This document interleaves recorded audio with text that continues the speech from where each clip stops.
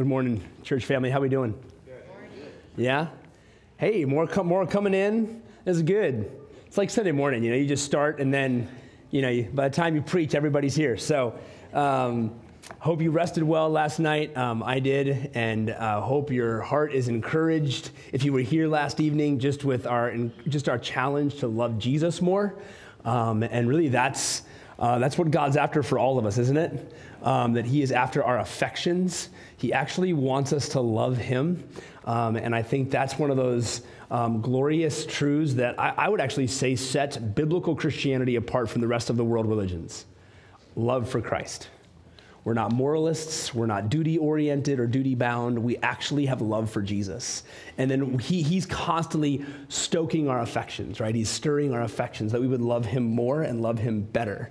Um, and just like some of y'all who've been married for decades, um, if your marriage hopefully is healthy by God's grace, um, at least this is what everybody tells me, the longer you're married, the sweeter it gets, right? And, and sometimes you're like, how does that work? I mean, doesn't that same person get boring? Um, you know, at least that's how the world might think about it. You've been together 30, 40, 50 years. Isn't it old news by now? Not, not if you're walking with Christ, not if you're loving and serving each other. It just gets better over time. Um, and I think as we walk with Christ, uh, we see that, right? Our love for Christ increases. So, um, well, this morning, by way of introduction, um, I'm always challenged by doing workshops, conferences like this for a few reasons, but one of them is we all have limited capacities. Um, I have a limited capacity. You have a limited capacity. And after some point, hearing a bunch of sermons and talks from the Word of God, we're, we're kind of spiritually something like you might feel after Thanksgiving dinner. You're just like, I'm done like I can't I can't take anymore. I've hit max capacity. As much as I might want another bite, I have to stop eating. Um, and so I want to be careful today, really all day long, to just not give data dumps, if you will. Um, but I'm going to try to bring every sermon down to just one central truth. Um, one central truth. Maybe you could jot it down, um, meditate on it later if you're that kind of person. Um, and my hope is that we'll come away with maybe one or two life changing truths. And I don't mean like, wow, my life was changed on Saturday, but I mean just truths that God would plant in your soul. And you would say, that, that truth really helped me learn to walk with God better in this area of missional living. I mean, after all, I, think that's how the Spirit normally works, at least in my life. Um, it's not a whole sermon, it's not a whole book, it's not even a chapter. Sometimes it's just that little statement, that one line from a verse that just jumps out, and you're like, oh, Lord, that's what I needed, right? I needed that. Um, and so I'm hoping that today there'll be something that sticks, something that convicts, not just for a moment, but actually for change. Um, and so, it, and you know, it's funny how the Spirit of God works. It might not even be my main point. It might be something else that you go, oh man, that's exactly what I needed. All right? And so just jot that down. And if we come away just a little bit more like Christ when it comes to living on mission, then that's a win, right? That's a win. That's a success um, in, the eyes of God. Again, because our spiritual growth, remember, it's not, a, it's not a sprint. I love how the Bible uses words like walk. It's just this walk with God, this journey with God. And hopefully, we're growing and getting better and better all the time at it. Um, and like we talked about last night, um, God is patient, amen? So we, we actually are harder on ourselves than I believe God is on us. Um, he knows, I mean, I love you this morning, but He knows that we're losers. He knows that we're failures. He knows that we're going to struggle to live the life of faith. And that's the good news of the gospel. He still loves us, right? So we're not earning our keep with God. Yes, we live the life of faith. Yes, we strive for obedi- the obedience of faith. But the Lord in heaven, He's not like, oh, Justin, you did it again. I can't believe it. It's like, no, no, I, I know you did. That's why I saved you. It's why you need the gospel. So even as we talk today, I, my goal, I honestly, honestly, saints, my goal is not to beat you up. I think it was maybe even your pastor when I was being trained in seminary who said something that just stuck with me. He said, you know, a good sermon is not when you're beat up. It's when you're lifted up to see Christ. Right? And that's, a, that's, that's my hope is that we come away today just, wow, Christ is glorious. Christ is worthy. Let's live better for him in a world that doesn't. And so last night, our takeaway, if you were here, was missional living is the result of loving Jesus. I mean, that was just a central truth, loving Jesus. And so maybe that's where God already began convicting you. You realized, yeah, I don't live on mission because my love for Christ lacks. I, have a whole bunch of other things I love more than Jesus, and I'm more comfortable talking about those things than Jesus. And we looked at three stories, well, actually, the end of three stories where people loved Jesus and it produced action uh, because love actually moves us to do something right? I mean, that's just classic, you know, marriage counseling 101. If you love your spouse, you should serve your spouse, right? Love compels action. Same thing. We love Christ, it compels us to action. It compels us to killing sin. It also compels us to love others with the gospel. And so this morning, don't forget that. Don't move past that. Love for Christ, because of Christ, motivates everything um, and like I've just, I'm going to kind of restate this God forbid that you're shamed or guilt tripped into missional living. Now, I want to say this carefully because should we obey God when we don't feel like it? The answer is yes. You can shake your head yes. We obey God when we don't feel like it, all right? However, however, I don't believe that we should guilt trip each other or shame each other into obedience. Because God sees the heart and he's not impressed. He's not impressed when we're obeying him, when we actually are kicking and screaming inside. Our hearts are in rebellion. Jesus actually said things like, quoting Isaiah, You honor me with your lips, but what? Your heart's far from me, right? So that's not the goal. The goal is not, hey, if we if we get this talk or if we get what we're if we get missional living, um, we'll, we'll, we'll share the gospel with five people because I have to. If I don't, I'm in trouble. That's not that's not what God's after. He cares about our hearts. He always cares about the hearts behind our actions. And so don't move past the all important truth that we should do all things in love. And if you're born again, you've been given a new heart, and you're actually now able to love God from the heart. That's the whole point of the new heart. You're no longer hard to God, you're soft, and you actually want to love Him and please Him. And yet, and yet, and this is where we're going to go this morning for this first talk, our love for Jesus should be coupled with a robust knowledge of Jesus. So affection for Jesus is the motivation, and yet, yet affection should be paired with a thorough, a thorough knowledge of the glorious gospel of Christ. All right, so affection is the motivation, but affection moves us to this thorough knowledge of Christ. And I'm going to call this gospel fluency. All right, so I'm going to use that phrase today, gospel fluency. It's not, it's, the phrase isn't original to me, but I like what it communicates because we all understand what it means to be fluent in something. We typically use the word fluent to speak about, to talk about languages. Some of you in here are bilingual or trilingual. You're fluent in multiple languages. Um, I have family members who in the 80s went to Brazil to be missionaries two of my uncles and a whole bunch of my cousins. Uh, they've lived there for 35 plus years. Uh, and they learned, they studied hard to learn Portuguese. And I remember, I remember them telling us that they, they felt fluent when they began to dream in Portuguese. That was a win. It was like, oh, I dreamt in it. I wasn't just thinking, okay, English to Portuguese, Portuguese to English. I began to actually dream in this new language that I'm learning. To be fluent according to Webster's dictionary, is to express, is, is the, the ability to express oneself easily and articul- articulately. That's what fluency just generally means the ability to express oneself easily and articulately. And so, for our time together this morning, really throughout the day, I'm going to unpack a few key components of gospel fluency. Because I do believe, church, that, that all of us who have been redeemed by the gospel, we should be fluent in the gospel. We should be fluent in the gospel. The gospel should not be fuzzy. I mean, one of the saddest things to me about American Christianity is if you just ask, what is the gospel? It's like, ah, I don't know. Oh, the whole Bible. It's like, what a cop out, right? That's not, I mean, that's, that's true. It's in the Bible. And it's true that the entire Bible story could be called gospel, but that, that's not really it, right? And we're, we're fuzzy on the gospel. But we should be able to express ourselves easily and articulately when it comes to gospel truths. After all, it's the most important message in the world. It is the singular thing that reconciles sinners to God. The gospel is the power of God unto salvation to all who believe.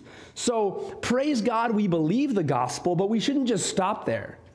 It shouldn't just be, well, I don't know. I mean, I go to church and, and I read my Bible and, and I don't know. That's all I know about my faith. No, we should be gospel fluent people. When I think about fluency, I think about culture. I mean, some of you, some of you, you, live this, so for me, it's just hearsay. But uh, from what I gather, it's hard to actually be a part of a culture until you learn the language, right? there's just things you're going to miss. At least that's what everybody tells me. That you, you go to a foreign country and you might live there for decades, but if you never learn the culture, if you never learn the language, you're not really going to assimilate to the culture. There's going to be jokes you always miss, right? Things you don't pick up on because you're not fluent. And when we think about gospel fluency, what we're actually saying is the gospel should permeate our culture. It should be just part of who we are, shaping everything about us. This idea of gospel fluency is more than just, oh, yeah, I memorized the gospel. Or I learned a, a Romans Road presentation of the gospel, but it should be the culture in which we live. And far too often, when Christians talk about the gospel, we sound more like a high schooler practicing Spanish 1. We're barely getting out of the, I think that's a verb stage, right? Maybe that's an article. And if we're going to live missionally, brothers and sisters, if we're going to be used by God to make disciples of those who don't yet know Him, we need to be gospel fluent. If there's any subject matter that you could devote your life to, it would be the gospel. It would be digging deeper and deeper into knowing the gospel. Again, far too often, Christians know what we might call the gospel ABCs. You might even learned it that way. And don't get me wrong, that's a great place to start. The problem is we stay there. Right? So this, there's a, there's, if you just kind of, if you boil down the gospel, you might say, well, I know that Jesus died and he rose again from the grave uh, for the forgiveness of sins. And he ascended back into heaven. Praise God. That's, that's beautiful. And you might even say that I know, I know that you must believe in him to be forgiven and have life eternal. And that's a good place to start, but the gospel, saints, is deep and it is wide. I mean, I think of things like the Hubble Space Telescope. There's some new one. What's the new one? Whatever. There's some massive new billion dollar telescope in space right now. But I'll just use Hubble since we all know that one. It's like looking into deep space and you think you've exhausted it just to find something else. We never exhaust the gospel. For all eternity, we will never exhaust this glorious gospel. And so when we, when we lean back on some prepackaged way to share the gospel, instead of being gospel fluent, we're actually kind of just familiar with our gospel sales pitch. We've got this one gospel sales pitch that we've memorized, and we think that that's fluency. Similar to that Spanish 1 student who just memorizes a few key words for a test. And that's as far as we ever go. Um, the problem with that is that if you think the gospel is more like that sales pitch, the moment you get off your sales pitch, you're lost. You're not fluent. You can't have a conversation about the gospel. And, and when, we, when we look at Jesus, we're actually going to see that he did not have a one size fits all gospel approach. He is as varied as as many people are in the world. The message never changes, but how he interacts with people is vastly different because he was fluent in the gospel. And so we're going to go back to look at Jesus in the Gospel of John. Um, obviously, Jesus is the master teacher, right? If anybody was gospel fluent, it was Christ. He lived the gospel, he spoke the gospel, and he was able in any and all circumstances to bring this gospel out to the, to the right person in the right situation every time. And frankly, that's kind of where I want to be. I mean, I know that it's not going to happen this side of heaven. Not perfectly anyway, but I do believe that we, we have the Spirit of God in us, correct? We've been given the Word of God, correct? So we can live godly lives in Christ Jesus, and that includes how we share our faith with those around us. And so this morning, if you're writing down things or they're in your notes, and again, I'm sorry, Dawn asked for my titles and themes, and I think I changed all of them, so my fault, not hers. Um, there's just one central idea this morning, and it's this missional living demands gospel fluency. Missional living demands gospel fluency. And, I, I want to press this home, and I want to encourage and equip you, hopefully, to be more fluent in the gospel. Or maybe you'll just begin to see, wow, I thought I was gospel fluent, but I wasn't. And the reason I'm tongue tied is not because I don't love Jesus, but because I really haven't studied the gospel. Not like I thought I had. I've been kind of staying at a surface level of the gospel. And so missional living demands gospel fluency. So let's dive in and look at a few things. The first thing I want to show you um, from a variety of passages in John is this gospel fluency demands theological depth. Now, I'm not going to get lost in the deep end of the pool this morning, but gospel fluency demands theological depth. And the sad truth today is the gospel has been truncated. We've shortened the gospel. Um, I like to compare it this way. We've made the gospel like this French reduction sauce. Have you ever had a French food? They just boil the sauce down, down, down until it's like a paste and they smear it on your food. We've made the gospel that, that, that's, let's boil it down, boil it down, boil it down. What's the lowest common gospel denominator? Instead of the gospel being this ocean of beauty and depth, it's become a thimble that's barely able to quench the chi- a child's thirst. And, and then we, we think that that is the gospel. And don't get me wrong, the gospel is simple, children can believe it. But the gospel is also deep and wide and vast, and we should know the depths of the gospel to the best of our ability this side of heaven. So let's just look at a few things um, under this idea of the gospel, gospel fluency, and theological depth. We need to graciously declare that Jesus is the one and only way to God. Do you realize that's theological depth? It's not just exclusivity, the exclusivity of Christ, it's deep. Let's just think about some of the ways Jesus would say this. Let's, uh, if you have a Bible or an app, John 5 18. We're going to be mostly in the Gospel of John and hopefully just kind of learn from Christ in this way. In John 5, verse 18, the Word of God says this. This, is, this was why the Jews were seeking all the more to kill him, because not only was he breaking the Sabbath, but he was even calling God his own Father, making himself what? Equal to God. You know, there's a whole bunch of interesting and maybe even simplistic ideas as to why the Jews killed Jesus, but this is it. He made himself equal to God. And when he made himself equal to God, they said, No, no, no, no, no. We have one God. His name is Yahweh, and you're not him. How dare you? Anybody who makes themselves equal to God, they should, be, they should suffer the penalty of death. So, Jesus, in doing this, he's saying, Hey, because remember the Jews, they believe there's one God, Deuteronomy 6. There's one and one God only. And there's no imposters, there's no seconds, there's only one. And here Jesus shows up and says, Hey, I'm God's my father. And they knew what that meant. I'm God. And they want to kill him for it. See, they're not playing games with this other God, this second God. The Jews like, no, no, no. When any, when any Jew shows up as a false prophet or claiming to be a, a God, we, we know what to do with them. We want to kill them. But Jesus is declaring his deity. Or if you go forward to John 10, verse 9, a few more pages over, I am the door. If anyone enters by me, he will be saved and go in and out and find pasture. This is emphatic. This is a definite article. I am the door. What's that mean? There's no other doors.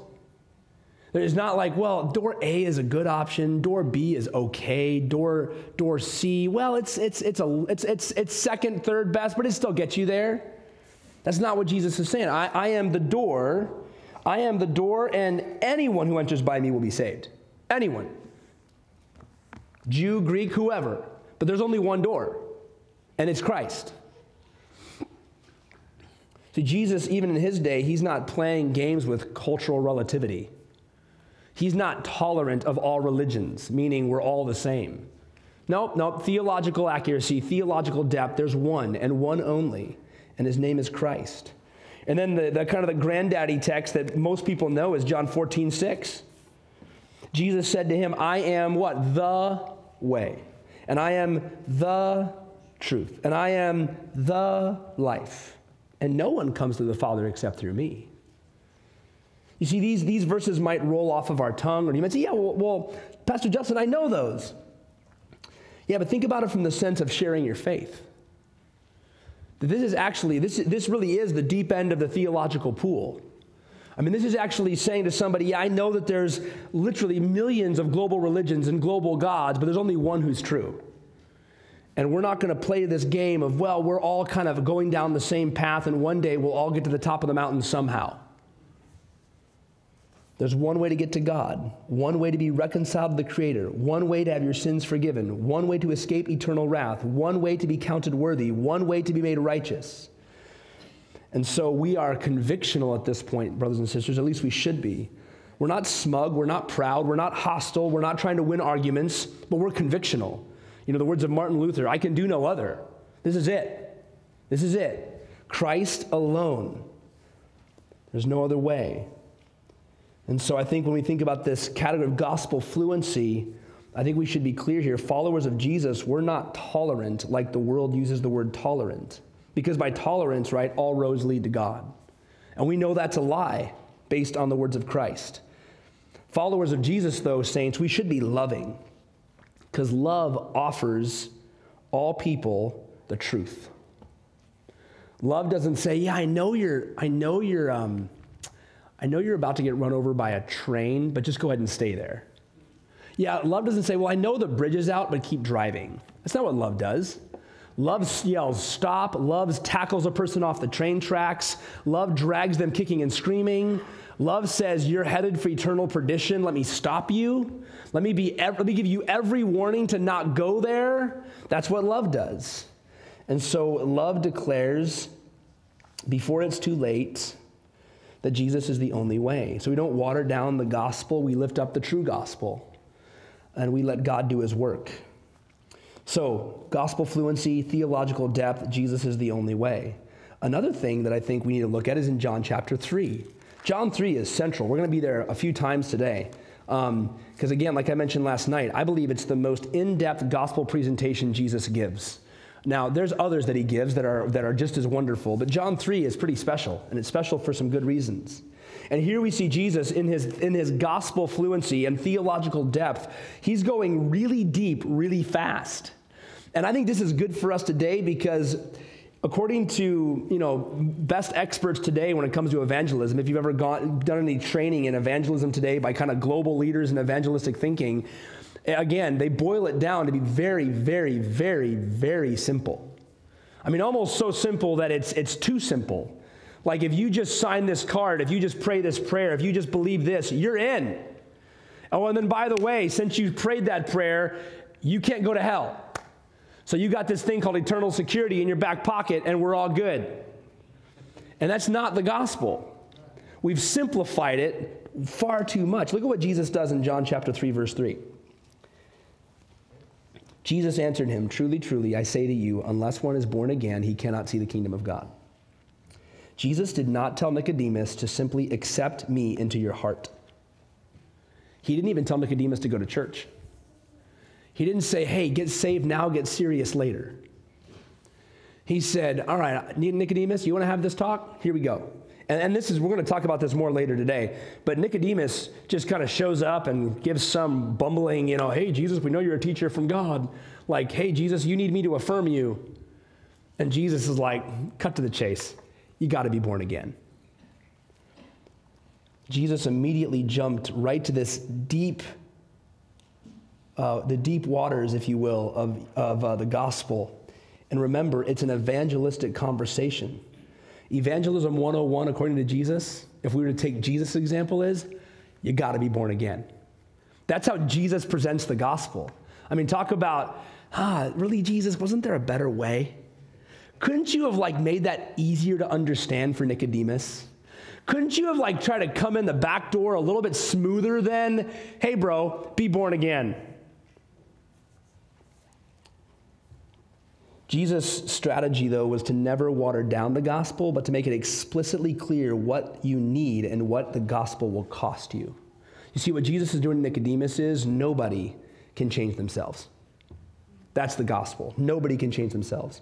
No amount of self reform will get you into the kingdom of heaven. No amount of good works will save you. No amount of church going will do, will do the job. No amount, in Nicodemus' case, of Torah reading or synagogue going will get you in. There's nothing the sinner can do to change the hard heart. That's the gospel. You can't change yourself. Now, what we're not saying is, well, you know what? You just better pray that God would save you because you know, no, we do believe. You want to be saved, repent and believe.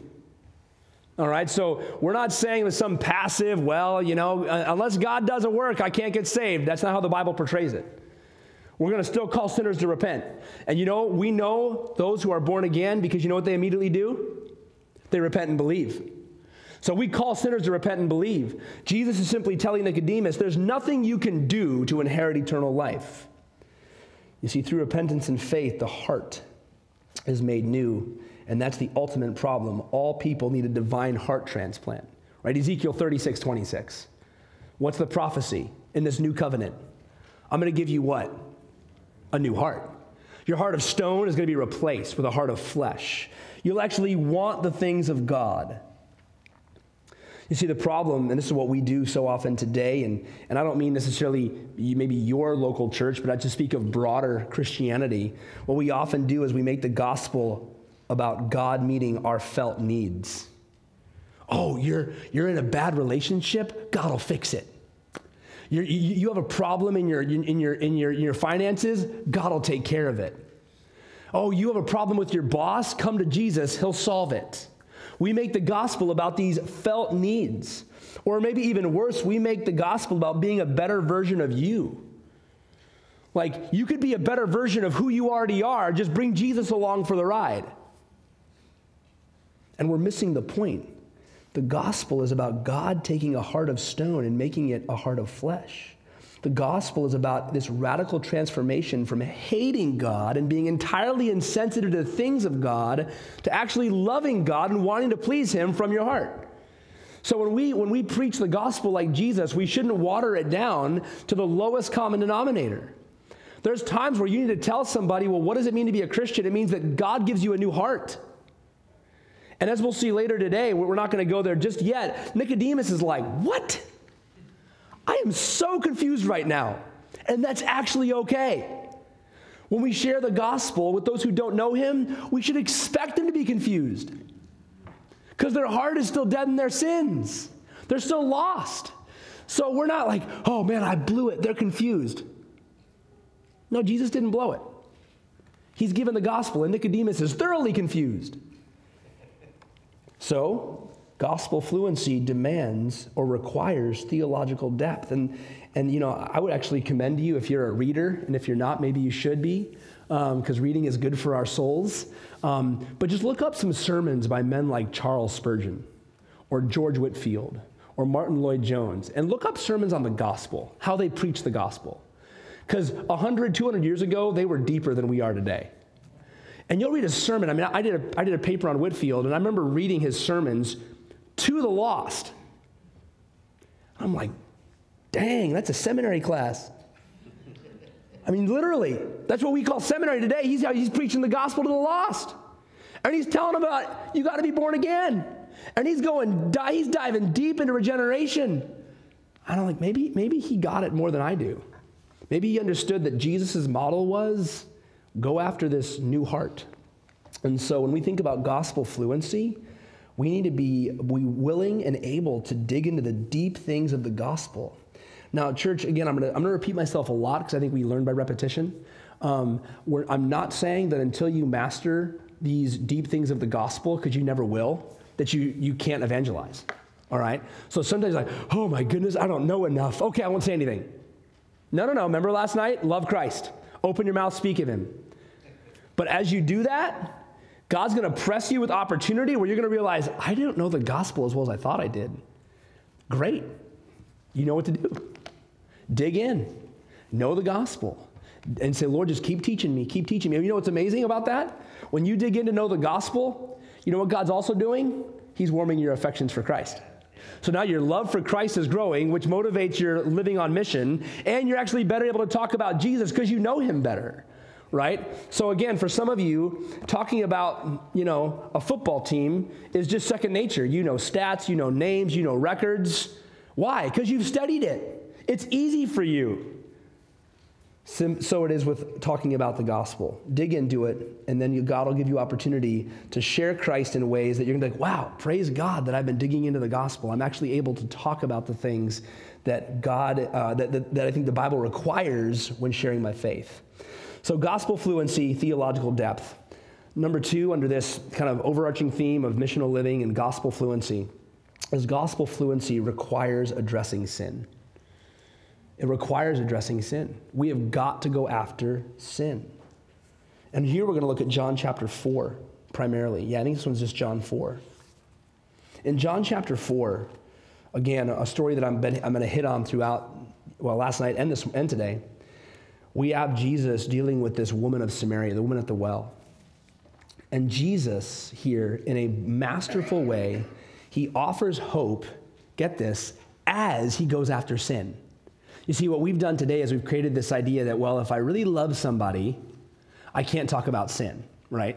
If I really, if I'm gonna be hopeful, excuse me, I can't talk about sin. That would discourage them. I don't want to discourage them, so we're just going to ignore the sin piece. And I would actually, just, you know, as we kind of get into this point, um, I would say this is maybe the most neglected doctrine in the gospel today the reality of sin. We, we love to talk about Jesus as Savior. We love to talk about Jesus loves you. We love to talk about how He died on the cross. And so it's like we're dancing around the gospel, but we're actually never willing to get to the to why do you need Him? Because without the reality of sin, you don't need him. Right? One of my favorite illustrations is when people say, I'm saved. I'm like, okay, saved from what? And if you don't know the answer to that, you're not saved. I mean, if you're drowning and somebody saves you, it's a pretty, they saved you from drowning. You were going to die. So if all we have is, oh, Jesus is Savior, great. What did He save you from? Well, the wrath of God because I'm a sinner and I deserved his judgment. I'm, I'm a sinner and I deserve judgment, and I was saved from that. And so Jesus offers hope here, but he also, as, as he goes after sin, look at John 4, verse 4, 14. Whoever drinks of the water that I will give him will never be thirsty again. The water that I will give him will become in him a spring of water welling up to eternal life. And the woman says to him, Sir, give me this water so that I will not be thirsty or have to come here to draw water. All right, she's still confused. All right, so again, be encouraged. Jesus giving the gospel, the people hearing it are confused. He's talking about living water, he's offering hope, and she's like, Sweet, I'm tired of walking to this well. If you're to let me drink water that I'll never have to come to this well again, hallelujah, that will make my quality of life better. Felt needs, right? That's, that's what we do. Jesus, meet my felt needs. She's not getting it yet. She's still thinking carnal. She's not thinking spiritual. And so, Jesus, you know, uh, sometimes I think in evangelism we want a smooth segue. Oh, what's the smoothest way to get from point A to point B? That's one of my that's one of the lies I believe. Oh, I just don't know how to smoothly transition. Jesus is not smooth at all. Because you don't need to be. Look at what he does. And Jesus, she says, Give me this water that I'll never come here again. And Jesus says, Yeah, go call your husband. The woman says, I have no husband. Jesus says to her, You're right in saying I have no husband, for you've had five husbands, and the one you now have is not your husband. What you said is true. Wow. He's like, mic drop. Crickets. You just see the, the like, you know, her eyes are going to get this big. Oh my goodness. He, he, he, just, he just went there. We were just talking about water and wells, and now he's, he's confronting my adultery Whoa, time out. Again, the lie today is that when we talk about the gospel, we only talk about God's love or God's mercy or God's grace or God's goodness. And the lie is that if we just make God look good enough, everyone will want him, like somehow we can make God more attractive than he already is. And we think we do that by leaving out his attributes of holiness and justice and wrath because it exposes our sinfulness. You see, the hope of the gospel is only hopeful against the backdrop of our sinfulness. We have to be convinced that we are hopeless to need the hope of Christ. When you evangelize various religious people, and we'll talk about this more later today, like there's entire religious systems. Actually, I would say most of the religious systems of the world don't believe that man is sinful. Ah, we occasionally make mistakes. But if you ever, if you ever uh, been involved with um, evangelizing Mormons, let's say, and you start bringing up the reality of sin, it's like, whoa, whoa, whoa. No, I'm a pretty good person. I mean, I occasionally make a mistake, but I mean, that's occasionally. There's no, there's no need for the hope of the gospel because they're not really broken by their sin. And in order for, for this woman to actually come to a place of embracing Jesus, she has to see that she's hopeless, not for just water from a well, not just because she's thirsty physically, but because she's thirsty spiritually. And Jesus has to, he has to get her to the place where she sees her spiritual thirst. And that's by bringing up the reality of sin. And so Jesus, again, in such a masterful way, offers hope and immediately addresses the reality of sin. And, and hear this this is an act of love and mercy on the part of Jesus to bring up sin. It's actually merciful. It's actually gracious. It's actually loving. Because unless she sees her sinfulness and the exceeding great nature of that sinfulness before the holy God of heaven, she'll actually never turn to Christ to be her hope. She'll still be hoping in these earthly things. Because to be honest, we could probably conclude she's been hoping in relationships that aren't working. Do people do that today? Yes, absolutely. Let's just go from relationship to relationship to relationship. Maybe this one will be better. Maybe this will provide the hope that I'm looking for. And so Jesus brings up the reality of her sinfulness because then she could turn to the one true God who alone provides the hope that all people need. So, brothers and sisters, like I mentioned, I, I think this is the most neglected doctrine of the gospel today. And I, I, we love to talk about what I call the warm and fuzzy feel good doctrines. Just turn on the radio. Christian radio is, just makes me sick. It's all they talk about the warm and fuzzy doctrines. And I'm just like, but why do we need him? So, so he makes you feel positive and encouraging. Great. But why do we need him? We need him because we have a sin problem. And so, brothers and sisters, I think we should, we, we should be clear here that loving, we should love people enough to kindly and graciously tell them that we all have a sin problem. And Jesus is ready and willing to forgive all who call upon him. You see, forgiveness, again, we'll use things like forgiveness, but we'll never actually talk about sin. No, no, eh, what are you forgiven of? Come on. Sin, thank you. You can talk back to me. Okay, it's not always rhetorical. You can, you can, you can, we can interact a bit. Yeah, we're forgiven of sin, so we go after sin. Oh, now I'm convinced that I actually need forgiveness. You see, this is why I call this theolo- the, the deep end of the theological pool, because Nobody talks about sin. Religion doesn't talk about sin. Faith and spirituality doesn't talk about sin. It just makes, makes me feel good about myself, right? And we're going to talk about this more later today that we live in a world that's spiritual, but it's all just make me feel good spirituality. Make me think positive thoughts about myself. That's not the gospel. The gospel is actually brutally honest, but in that it's so kind. Because I believe at the heart of man, we know we have a sin problem. We medicate it, we, we, we, we try to shove it away with materialism and, and busyness. We bounce from relationship to relationship. We abuse drugs because of it. We don't want to deal with the problem of our heart.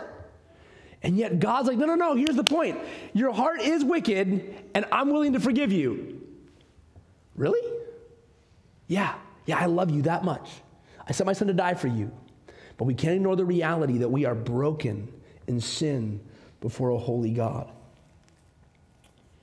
So Jesus goes after the reality of sin even as he offers hope. But I want to show you one more example. I think you have time for this. Let's go till 10. All right, sweet. We got time.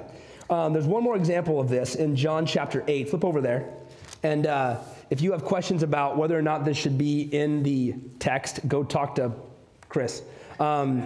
Because it maybe has brackets in your Bible and there's some comment about the Masoretic text and you know not sure if it's there, but it's here, so we're going to talk about it. Okay?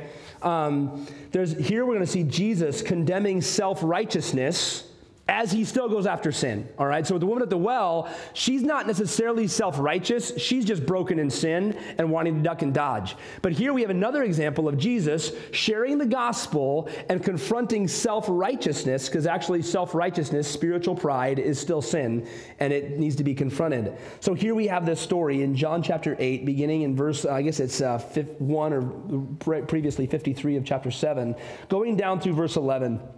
And this, this, it's this story of a woman caught, caught in adultery. It's interesting that these religious leaders, these Pharisees, they bring this woman caught in adultery. And as a side note, the man's not mentioned. Because we all know adultery takes two people. Somehow he gets off, she's before the before Christ. And like the scribes and Pharisees are always doing, they're wanting to trap Jesus. All right, so every, every time you see scribes and Pharisees going to Jesus, they're trying to trick him. They're trying to trap him, all right? It's a, it's a cat and mouse game. Hey, can we get this guy to say something stupid? Can we get him to disagree with the law of Moses? Because we really want to get him, all right? So they're not, they're not in goodwill coming, hey, Jesus, what do you think about this? No, they're, they're trying to come after him. They're trying to catch him in what might be called a theological fumble. And if you remember the story, they bring this woman, and Jesus says, Let him who is without sin among you be the first to throw a stone at her. And in this moment, Jesus isn't condoning her sin, but he's condemning the hypocrisy of her, her accusers. And so I think even in John 8, when Jesus calls out the sin of the Pharisees, it's an act of mercy because these scribes and Pharisees, they thought, oh, we're righteous. We keep the law, right? We're, we're the good guys. She's the bad one. She's the bad apple. She's the one that needs to be dealt with harshly. And so Jesus confronts sin even in that moment. He's condemning their hypocrisy and their self righteousness because these men are riddled with it. They are moralists, they're externalists, they're religious men, but Jesus knows their hearts are far from him, so he doesn't play their game. Frankly, I think this is alive and well today. We live in a society that we love to judge other people.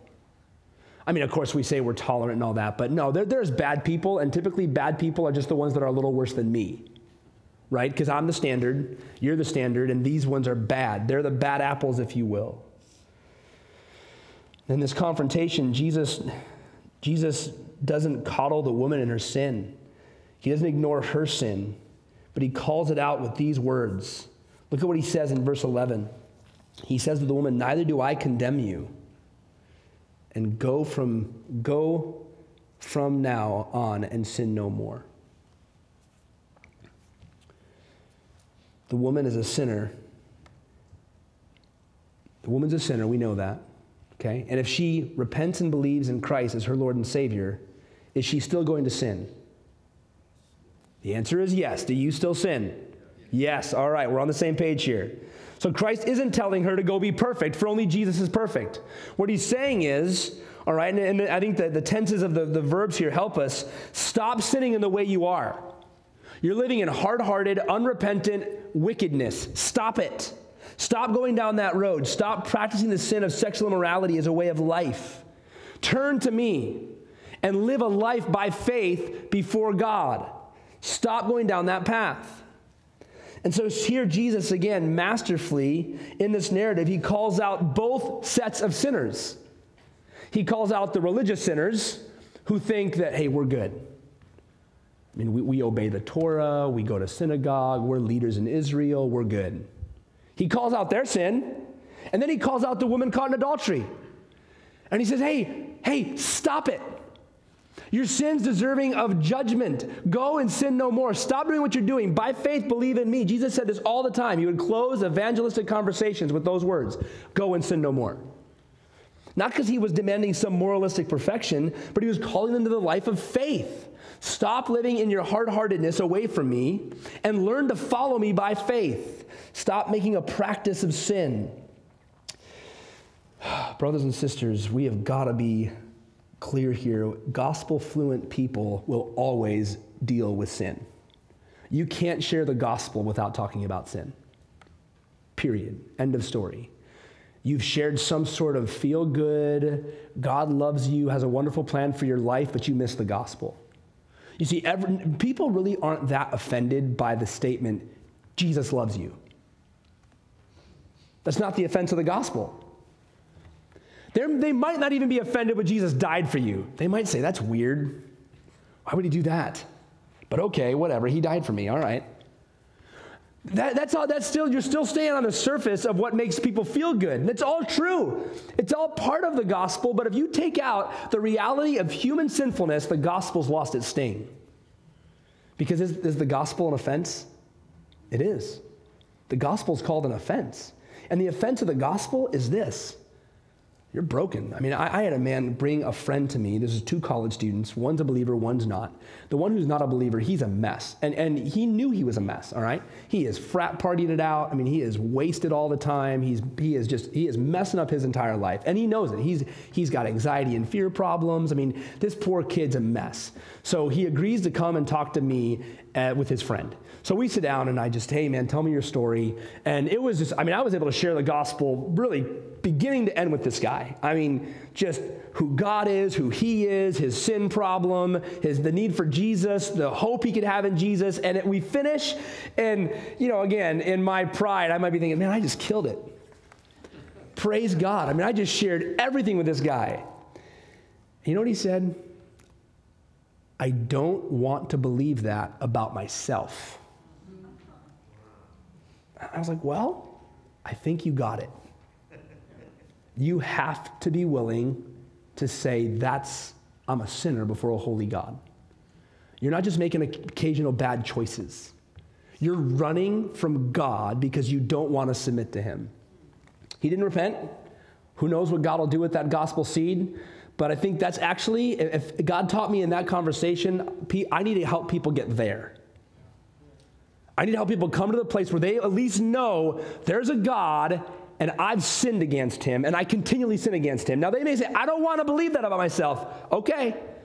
Okay, you may not want to, but you've got to get to that point before you'll ever turn to him to be saved. And so gospel fluency requires going after sin. And then finally, gospel fluency requires um, or demands biblical faith. We've got to, so we're thinking about theological depth, missional living, gospel fluency, going deep and hard after the gospel. And again, we can't be satisfied for these simplistic answers.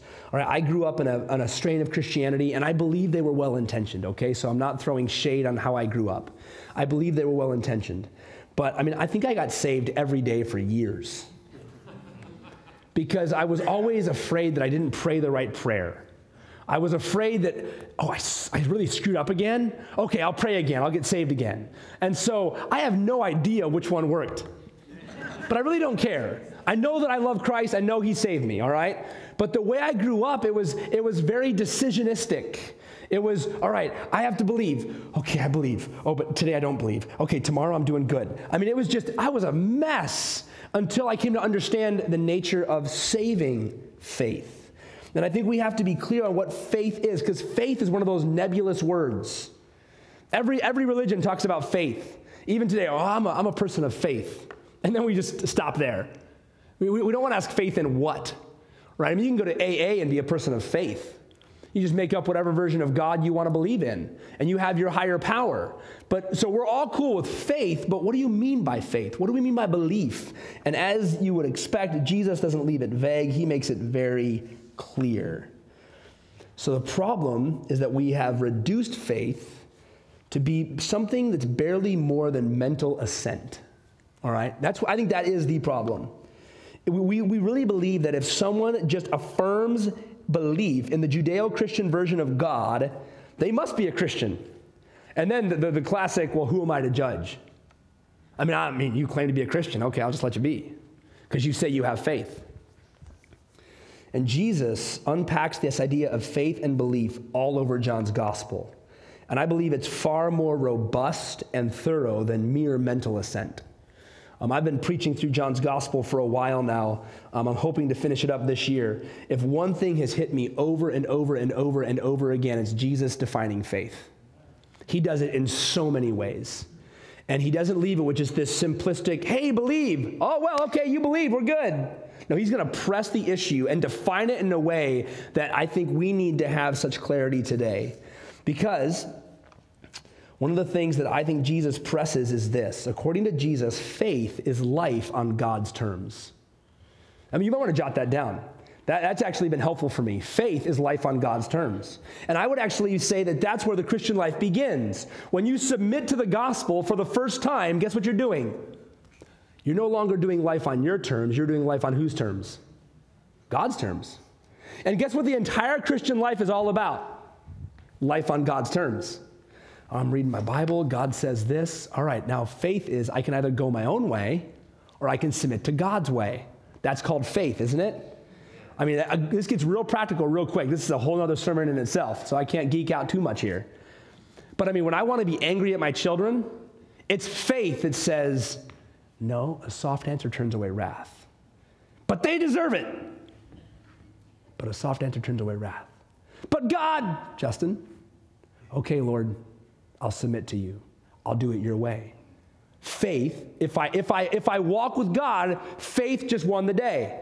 I did life on God's terms. That's what that's the whole Christian path. And so here, I think Jesus, when he, he's giving the gospel over and over and over, what he's saying is, hey, faith is life on my terms. You got to be willing to submit and surrender to me. Stop doing it your own way and live for me. Do it my way. So let's just let me just break this down a little bit. You might be like, I don't know, that sounds maybe a little bit legalistic or a little bit. Well, let me just walk through and let's see if maybe the Word of God will convince you. Let me just, we're going to throw out six or eight references here. John chapter 1, verse 12. Jesus, in the very prologue of John's gospel, verses 1 to 18, chapter, verse 12, he says this But to all who did receive him, who believed in his name, he gave the right to become the children of God. To have faith is to receive him. And I believe to receive, biblically defined, is to accept God on his terms. You received him. And this would be like, hey, you get a phone call, somebody in your family just died, and they left you a million dollars. But here's the terms. Like, ah, that's, those terms are a little bit annoying. I mean, I got to drive to LA or fly down to LA to sign some papers. Hey, you know what? Can you guys just change the terms? I want to do it on my terms. Can, you, can somebody come to my house instead? That'd be a lot more convenient. Well, sorry, if you, this is the terms. You either do it this way or you don't get the money. Um, yeah, you'd be kind of an idiot to not just buy a flight, go to LA, and, and do it on their terms and get the money. You received something, but it was on their terms. You see, when we talk about receiving the gospel, it's God's terms. He sets the terms, not us. So we, I think this idea of receiving is a really helpful way of saying, yeah, we receive Christ, but it's on his terms. You don't set the terms, you don't define the gospel, he does. To have faith is to receive Christ. Well, then we could just turn forward a few verses to a famous verse. For God so loved the world, John 3:16, that he gave his only son.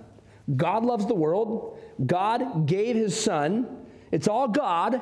He's done it all. That whoever believes in him believes in, in what? This God who loves the world and gave his son. Gave his son what? To be a sacrificial payment, to be a wrath satisfying payment, to pay the price we deserved payment. He gave his son. Believe in him. See, to, whoever believes in him, whoever believes in him should not perish but have eternal life. See, this, I think here, John 3.16 helps us to understand even what believe means. And if we, we will go on later today, actually, and look more closely at John 3 to understand the story of Nicodemus. And we actually get down to verse 19, 20, and 21, and we get into how this belief is called, or actually puts us in the category of light. We're no longer in darkness right? And so to believe is to actually be moved to action, to now live in the light. We're no longer living in darkness, we're living in light. Why? Because we believed. Again, believing is never, ever defined as mental assent, just agreement. Oh, yeah, it sounds good. Sure, I'll vote for Jesus. That's not it. We're not just giving some mental affirmation to Jesus, it's faith that moves to action. If you look at John 1, verse 43, this is actually all over John's gospel. But verse 43 to have faith is to follow. The next day, Jesus decided to go to Galilee. He found Philip and said to him, Follow me. I actually think this is how we should talk about the gospel. Just follow me. Are you ready to follow Jesus? Because again, we, we've made it all about, well, I just don't want to go to hell. All right, like John Piper says, the fear of hell is a great motivation that scares you in the right direction. But if all you do is want fire insurance, you're not coming to Jesus on his terms. Now, Jesus talked a lot about hell because the reality of eternal damnation, that's serious. But we're not just getting out of hell, we're following Christ. And so Jesus just, oh, I think this is how Jesus calling his disciples is actually how Jesus calls followers today. Follow me. Follow me. And if you don't want to follow him, you have no faith. At least not saving faith. You might, again, you might have Jesus in your back pocket. You might go to an evangelical Christian church every day of your life for the entirety of your life. But if your faith doesn't mean follow Christ, it's not saving faith. Because Christ was clear follow me. And I think as we talk about faith with those who don't know Jesus, this is a great way to talk about it. What's it mean to be a Christian? You really want to know? It means following Jesus. I thought it was all by grace. It is. It is. It is. You're saved by grace through faith in Him, and you're saved unto good works for the glory of God. Follow Jesus. It begins with repenting and believing. And guess what? It continues with repenting and believing. It's all by grace. It's all by grace, but you must follow Jesus. That's confusing. I know. Remember Nicodemus? He was confused too.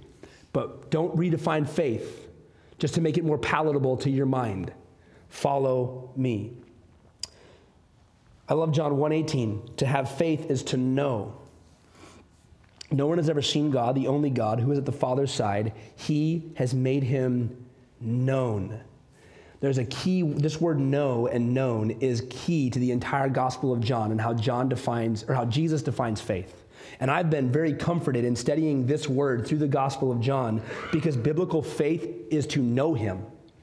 See, I think one of the lies that is being spread in our society is, and I think it's, it's, it's, always been there, but I think it's ramping up more and more, is that faith is foolishness. People that have faith are like, like putting an ostrich who sticks its head in the sand. You're just dumb. If you were smart, you wouldn't believe. If you, had if you were intellectual, you wouldn't have faith. You wouldn't need it. And actually, as we study Jesus, Jesus is going to press over and over that we can know him.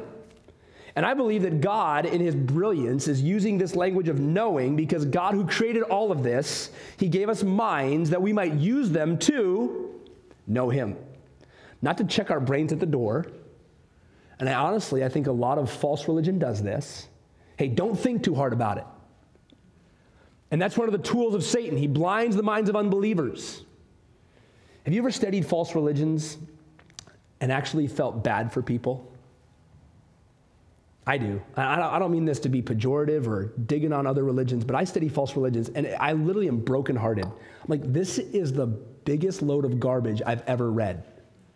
I mean, this just makes no sense. It's not logical, it's not historical, it is just lie upon lie upon lie. And yet people are believing it by the millions. And you see 2 Corinthians 4 the God of this world blinds the minds of unbelievers. And, and I don't think we're, uh, brother, hear me carefully, we're not exceptionally smart. We're not like, oh yeah, we found it on our own. No. But there is a God, He is true. You can know Him, you can engage your mind, you can ask hard questions, and He's, he's able to meet that every time. And so Jesus defines faith as you can know Him. It's not ignorant faith, it's not foolish faith, it's truly knowing Him. So faith is to know. Let me, keep going here. We'll wrap it up in just a second. John 3, verse 21. But whoever does what is true comes to the light. That's a definition of faith. You do what is true, you've come to the light. See, authentic faith looks like obedience, it looks like something you're doing.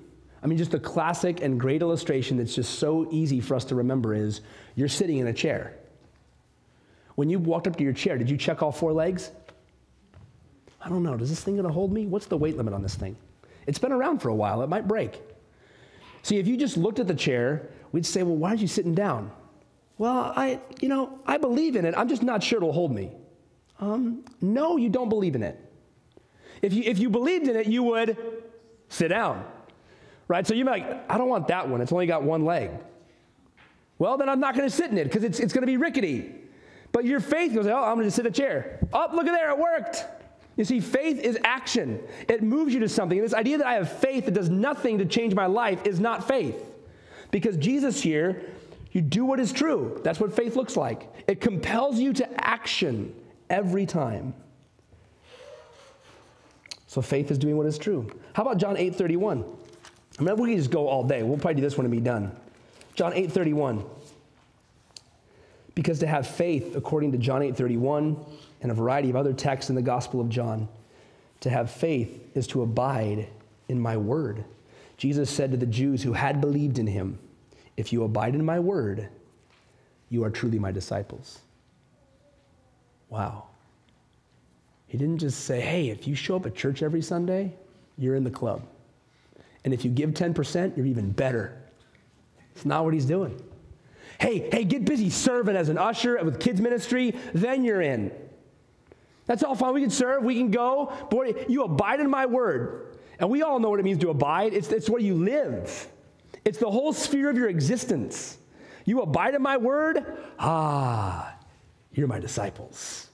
What's Jesus doing? He's defining faith. Faith looks like abiding. So I think we, again, we're talking about evangelism. This isn't just to the church, even though it's good for us. When we define faith, we've got to have clear God definitions of faith. We're not using some watered down, weak sauce definition of faith. We're using clear God definitions. I mean, I'm not going to read these texts, but there's more. John 5 24, to have faith is to hear my word. You're defined as a person who continually hears his word. And we know that hearing in Scripture, to actually hear, is to hear with the, with the uh, desire to do. It's like when God hears our prayers, He's hearing to do, hearing to act. To have faith in John 6 37 is faith is to come to Christ. This acknowledgement of need and desire and want, you come to Him. John 6 40, to have faith is to look on the Son. Just confident, constant looking on the Son brothers and sisters, to if we're going to share Christ and be gospel fluent, we must define faith according to Jesus. And I believe a great little phrase is faith according to Jesus is life on God's terms. The gospel declares that you have been doing life on your terms since the moment of your birth. That's what sin is. Sin is life on your terms. And you must repent and believe, and you must begin doing life on God's terms. That is called faith. And so, gospel fluency requires defining faith like Jesus.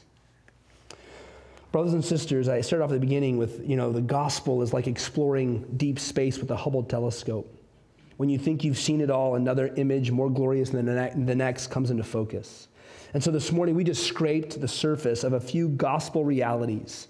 And we could go on and on about things like imputed righteousness, adoption as children of God, reconciled to God, Jesus as the wrath satisfying payment for all sin, being forgiven as far as the east is from the west. These are all gospel truths that we should be able to know and rehearse in our own souls. And we're never going to exhaust the depths of the gospel. But, brothers and sisters, we can be fluent in the gospel, not perfectly, but adequately to speak of Christ. And that's God's desire, is that we could know the gospel well enough so that it would both fuel our affections, but also enable us to open our mouths and speak of Him. And so, church, hear this carefully. If you've been converted, if you've been, if you've been given this new heart, you are fluent enough to live on mission. Remember the woman at the well? Come and see the one who told me. I don't even know who he is yet, but I know this. He told me all I ever did.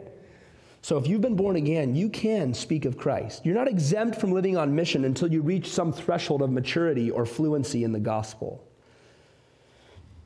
But that should be no excuse for us to press deeper and deeper into knowing the gospel. We might be gospel fluent. Because if we're going to be faithful ambassadors for the king, if we're going to be ministers of reconciliation, if we're going to live on mission, then I believe it's just incumbent upon us to be fluent in the gospel. Would you agree? That we could be fluent in the gospel so that we're able to express ourselves easily and articulately, articulately whenever it comes to gospel truths.